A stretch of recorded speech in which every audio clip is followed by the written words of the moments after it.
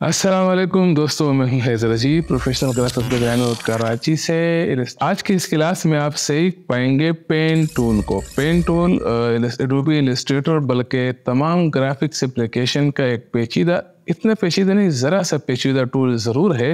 लेकिन इस टूल की मदद से अगर आपकी स्केचिंग पावरफुल है तो इससे आप बहुत हैरत अंगेज़ काम ले सकते हैं।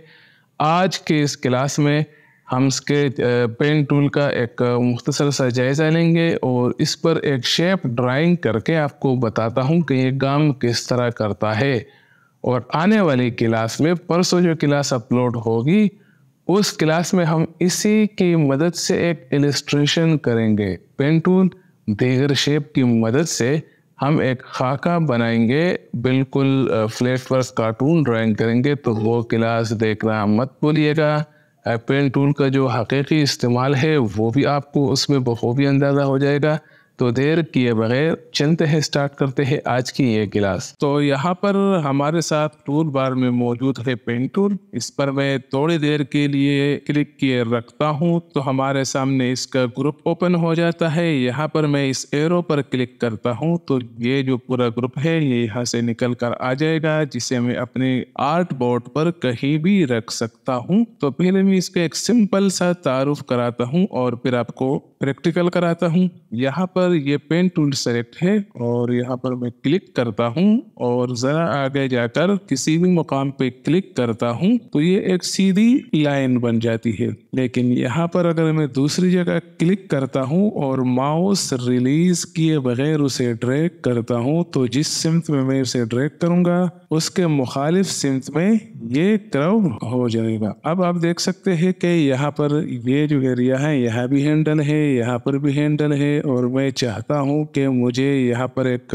नोक नोक बनाना है तो उस सूरत में मैं यहाँ पर सिर्फ़ आल्ट प्रेस कर लेता हूँ और यहाँ आकर उसे दोबारा से माउस रिलीज़ किए बगैर ड्रैग कर लूँगा। अब मैं चाहता हूँ कि इसका किनारा भी उसी तरह शार्प हो, जैसे कि वो है, लेकिन यहाँ आप देख सकते हैं कि ये जो रबड़ बैंड है, मैं जहाँ भी क्लिक करूँगा तो ये उसी सिमत में क्रव शेप बनाएगा तो यहाँ पर भी मैं आल्ट प्रेस कर लूँगा और यहाँ पर जब आल्ट प्रेस कर दिया तो इसका जो निचला हैंडलर था वो ख़त्म हो चुका है। तो अब ये किनारा शार्प आएगा और यहाँ पर मैं क्लिक करके फिर यहाँ पर जब क्लिक करूँगा तो अब आप देख सकते हैं कि यहाँ जो हमारे पेन टूल के सामने अलग टाइप का आइकॉन बना हुआ है राउंड का। इसका मतलब है कि यहाँ पर हमारी जो बात है ये क्लोज हो रही है।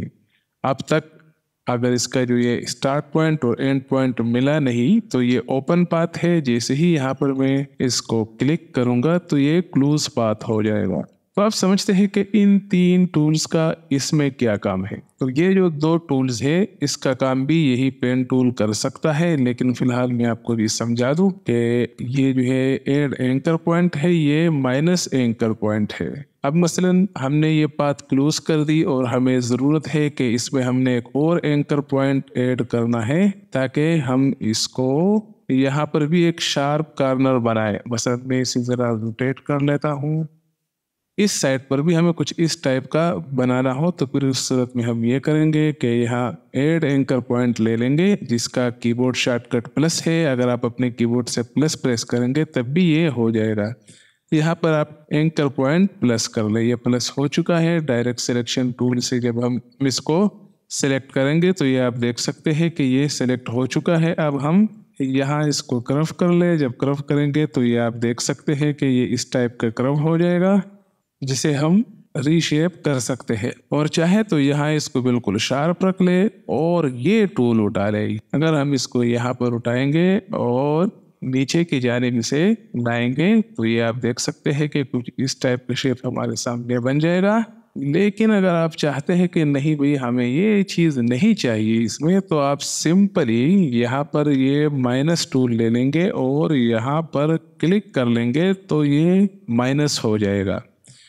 इसी तरह मैंने जैसे कि कहा था आपको कि ये पेन टूल इन दोनों का काम कर सकता है। यहाँ पर ये पेन टूल सेलेक्ट है और मैं इस पर अगर यहाँ पर देखे, यहाँ पर यहाँ पर चले कर लेता हूँ। यहाँ पर जो है ना, एक एंकर पॉइंट ये है, एक ये है।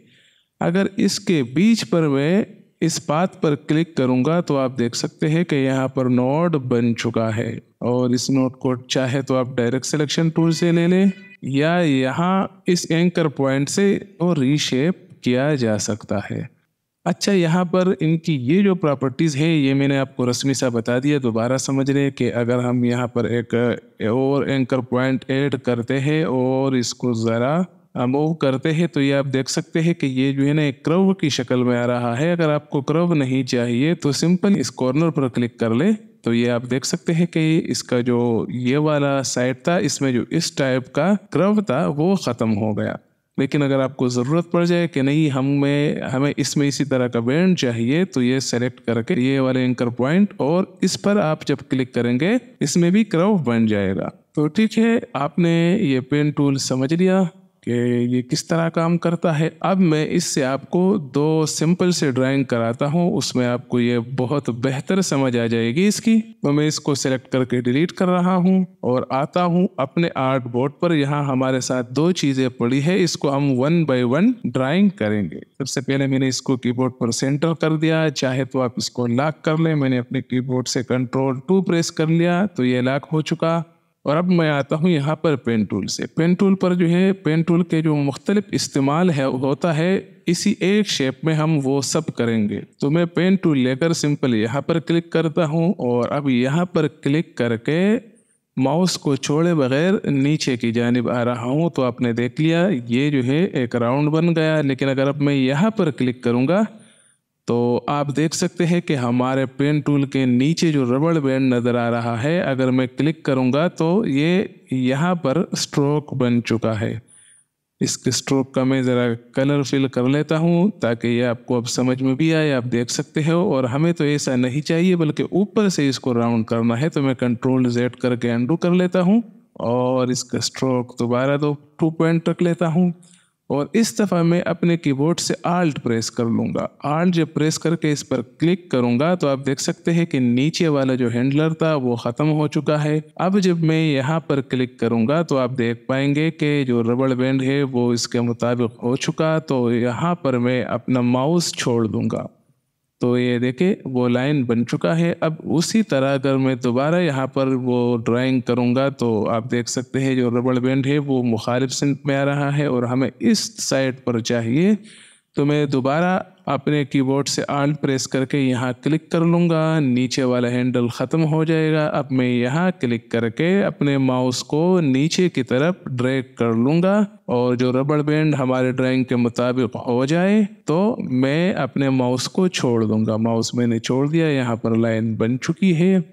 तो ठीक है, मैंने आल्ट प्रेस करके ये जो हैंडल है, इसका ख़त्म कर दिया और अब मैं यहाँ पर क्लिक कर लेता हूँ और अब जब देखता हूँ कि ये इसके मुताबिक यहाँ से नहीं हो रहा तो मैं क्या करता हूँ, अपने कीबोर्ड से सिंपल कंट्रोल प्रेस कर लेता हूँ और इसको यहाँ ला कर रख लेता हूँ। मतलब अगर आप कोई नोट जो है क्लिक भी कर लेते हैं क्लिक करने के बाद अगर आप कंट्रोल के साथ उसे प्रेस करेंगे तो वो मूव होने के काबिल होगा। तो मैं यहाँ पर लाकर इसे छोड़ लेता हूँ और इसका जो हैंडल है, ये ज़रा रीशेप कर लेता हूँ। तो आपने देख लिया कि मैंने पेन टूल सेलेक्ट किया था, लेकिन जब मैंने पेन टूल सेलेक्शन में ही कंट्रोल के साथ इसको रीशेप करना चाहा तो यही पेन टूल इस टूल का काम कर रहा है। तो मैं जब कंट्रोल रिलीज़ कर लेता हूँ तो दोबारा यहाँ पर आल्ट प्रेस करके क्लिक कर लूँगा और अब यहाँ पर क्लिक करके उसे ड्रा कर लेता हूँ। आल्ट प्रेस कर क्लिक कर लेता हूँ, इसका हैंडल ख़त्म करके यहाँ आकर दोबारा से ड्राइंग कर लेता हूँ। इसी तरह दोबारा आल्ट प्रेस करके यहाँ क्लिक कर लेता हूँ और अब यहाँ क्लिक करके नीचे की जानब आ जाता हूँ। नीचे की जानब अगर मैं आके मुझसे गलती हो जाती है माउस रिलीज़ हो जाता है तो कोई बात नहीं, आप अपने कीबोर्ड से कंट्रोल प्रेस कर ले। कंट्रोल जब प्रेस करेंगे तो ये हैंडल जो है ना, हम इसको एडजस्ट कर लेंगे और अपने कीबोर्ड से कंट्रोल रिलीज़ कर लेंगे। अब आल्ट के साथ मैं यहाँ क्लिक कर दूँगा तो नीचे जो हैंडल था वो खत्म हो जाएगा और अब यहाँ आकर मैं इसको ड्राइंग कर लूँगा। ये हो चुका? आ, तो ठीक है इसका आधा हिस्सा हमने ड्राइंग कर लिया है। ये वाला जो हिस्सा है इसको ड्राइंग करने की ज़रूरत नहीं है। हम ये इसी एक से बना सकते हैं लेकिन फ़िलहाल मैं इसकी एक कॉपी ले लेता हूँ। यह हाला के रख लेता हूँ। मैं आपको कुछ देर बाद ये भी समझा दूँगा कि इस आधे हिस्से से हम ये हिस्सा किस तरह बनाएँगे। लेकिन फ़िलहाल मैं इसको ये पूरा ड्राइंग करता हूँ ताकि इस पेन टूल का दूसरा इस्तेमाल भी आप जान पाएँगे। तो मैं सिंपल यहाँ पर क्लिक कर लेता हूँ, यहाँ क्लिक कर लेता हूँ, यहाँ क्लिक करता हूँ, यहाँ। मतलब हर पॉइंट पर मैं क्लिक करके इसको मिला दूँगा। हमने मिला दिया। ठीक है तो ये लाइन मुकम्मल हो गई। अब मैं इसको सेलेक्ट करके ये एंकर पॉइंट टूल ले लेता हूँ और यहाँ बीच से लाकर इसको इसके मुताबिक बनाता जाऊँगा। जी हाँ जब आप इसके सेंटर पर क्लिक करके माउस छोड़े बगैर जब आप इसे ड्रैग करेंगे तो ये इस शेप के मुताबिक हो जाएगा। और ये जो हैंडल दिया है, इससे भी आप इसको कंट्रोल कर सकते हैं। ठीक है, ये बहुत आसान है। ये जो पेन टूल है पेचीदा ज़रूर है, लेकिन उस पर ज़रा से ध्यान के साथ प्रैक्टिस कर लिया जाए तो यह बहुत आसान है। समझने में आपको, आपके लिए कोई मसला नहीं होगा। यहाँ जो इसके स्ट्रोक है, इसका जो स्टाइल है, ये मैं राउंड कर लेता हूँ। ये जब राउंड हो जाएँगे तो आप देख पाएँगे सभी यकसा हो गया। अब मैं इसको साइड पे रख के इसे अल्लाह कर लेता हूँ। ही साइड पर कर लेता हूँ, इन दोनों को सिलेक्ट करके मैंने साइड पे कर लिया। तो ठीक है, आप अब ये समझ लें कि इसी आधे शेप से हम ये कैसे बनाते हैं, न सिर्फ़ ये के, बल्कि एक बहुत खूबसूरत आर्ट किस तरह तख्लीक कर सकते हैं। तो उसके लिए सिंपल हमें ये करना होता है कि हम आएँगे ऑब्जेक्ट में और ऑब्जेक्ट में हम नीचे आएँगे रिपीट रिपीट में यहाँ पर हमारे साथ एक ऑप्शन है मिरर जैसे ही मैं मिरर करता हूँ तो आप देख पाएँगे कि यहाँ इसके सिंक पर एक अलग, इसका बिल्कुल मिरर डुप्लीकेट बन चुका है। यहाँ से ये इसको जो है ना, हम कंट्रोल भी कर सकते हैं, यानी इसके जो मिरर है, इसकी डिक्रीज वगैरह अगर आप यहाँ से चेंज करना चाहे तो कर सकते हैं। लेकिन हमें नब्बे परसेंट चाहिए। और यहाँ अगर आप देखते हैं कि यहाँ पर इसमें स्पेस है, ये हमें कंट्रोल करना होगा तो उसका तरीका ये है उसको सेलेक्ट करके दूर ले जाता हूँ तो ये दूर होगा। जब करीब करता हूँ तो ये साथ में मिल जाएगा।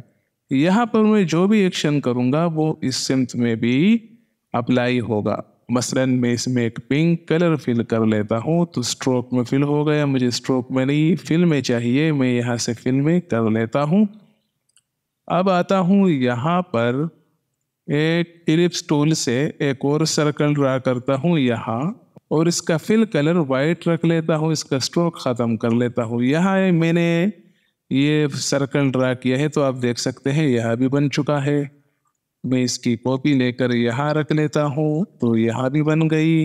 तो इस वक्त हम जो है रिपीट के आइसोलेट मोड में हैं। इससे बाहर निकलने का तरीका तो एक ये है कि बाहर किसी भी एरिया पे क्लिक कर लें या यहाँ जो एरो बना है उस पर क्लिक कर लेंगे तो हम उससे बाहर आ जाएँगे। इससे हम बाहर आ चुके हैं। मैं इसे ज़रा सा डाउन स्केल कर लेता हूँ। डाउन स्केल करने के बाद इस पर मैं दोबारा वही इफ़ेक्ट अप्लाई करता हूँ, लेकिन एक मुख्तलिफ़ तरीके से, और आप देख पाएँगे कि कितना एक खूबसूरत शेप हमारे सामने आता है। तो मैं आता हूँ ऑब्जेक्ट में। ऑब्जेक्ट के बाद, उसी रिपीट में। रिपीट के बाद इस दफ़ा मैं मिरर नहीं ले रहा, बल्कि रेडियन ले लेता हूँ। जैसे ही मैंने रेडियन ले लिया तो अब आप देख सकते हैं कि बहुत ही खूबसूरत मंडाला आर्ट हिरेन हमारे सामने है।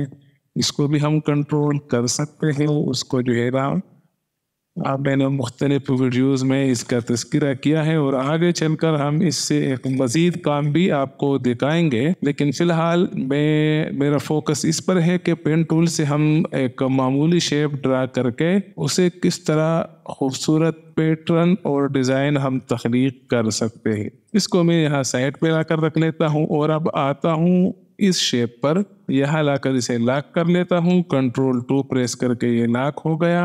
अब इसमें भी आप और बेहतर समझ लें कि पेन टूल किस तरह काम कर रहा है।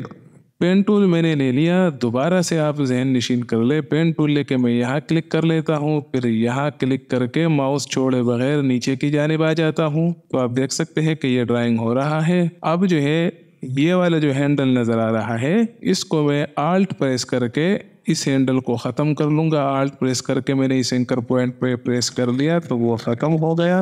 अब यहाँ आकर क्लिक करता हूँ और इसको ड्राइंग कर लेता हूँ। ये हिस्सा ड्राइंग हो गया। अब दोबारा ये अगर मैं आल्ट के बगैर इसको प्रेस करके आगे जाऊँगा तो ये दुरुस्त नहीं बनेगा। मैं यहाँ आल्ट प्रेस करके ये वाला जो हैंडल है ये ख़त्म कर लेता हूँ और अब यहाँ क्लिक करके इसको रिशेप कर लेता हूँ। ये क्रॉप जब इसके मुताबिक हो गया तो मैंने माउस रिलीज़ कर दिया, यानी माउस छोड़ दिया। अब इसी एंकर पॉइंट पर मैं आल्ट प्रेस करके क्लिक करूँगा, वो हैंडल ख़त्म हो जाएगा। अब यहाँ, इस पॉइंट पर आकर मैं इसको एक शेप इसके मुताबिक बना लूँगा, और जब ये इसके मुताबिक हो जाएगा तो मैं अपने माउस को रिलीज़ कर दूँगा। माउस रिलीज़ हो गया, दोबारा आर्ट प्रेस करके इस एंकर पॉइंट पर क्लिक कर लूँगा। और अब नीचे यहाँ आके मैं दोबारा से ये ड्राइंग कर लूँगा।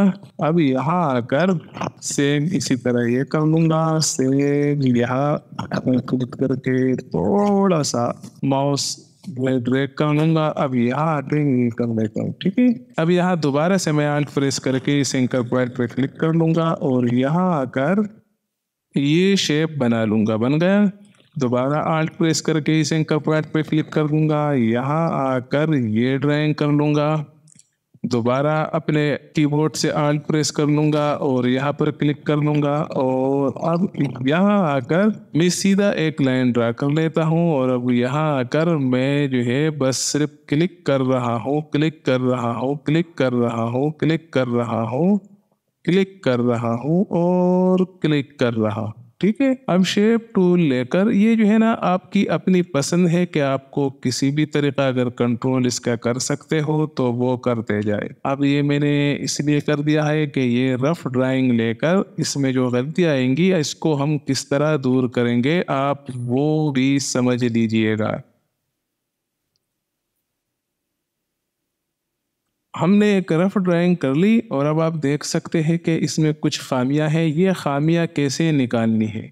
उसका एक तरीका तो यह है कि डायरेक्ट सिलेक्शन टूल लेकर वन बाय वन एक एक जो एंकर पॉइंट है, इसको सेट कर लिया जाए।